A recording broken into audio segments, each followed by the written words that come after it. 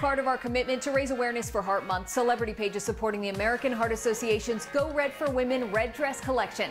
Laurie Hernandez recently hitting the catwalk to raise awareness for heart disease in women at the annual event. We're chatting with her for today's From the Heart profile.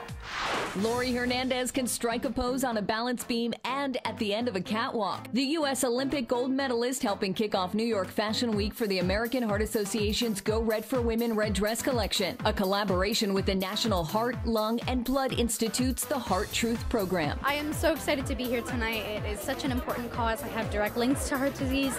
My mom has it, my grandparents had it, so tonight I get to walk for them, and I'm excited. About one in five female deaths in the world are due to poor nutrition, so Laurie encourages all women to be conscious of their dietary habits. Make sure that you are eating and that you're fueling your body, except that you're fueling your body properly and you're giving it all the proteins and all the nutrients that it needs. In addition to healthy eating, women can also reduce their risk for heart disease and stroke with physical activity. The Olympic athlete reminding all women they don't need a balance beam to get active. Find a workout that you love. It doesn't have to be something that you dread. Just get out there and get moving. Go Red's new Watch Me campaign encourages women to practice healthy habits together. Laurie saying she wants women to watch her spread the word on self acceptance. All body types are beautiful. I think, uh, especially growing up, when you see that stigma of like gaining a, a certain amount of weight and looking a certain way, it can definitely be hard on a lot of teenagers that are growing up. So showing them, hey, we accept everybody, I think that's the best way to go about it. Join the Go Red for Women movement to put an end to heart disease and stroke. And to learn more, visit goredforwomen.org.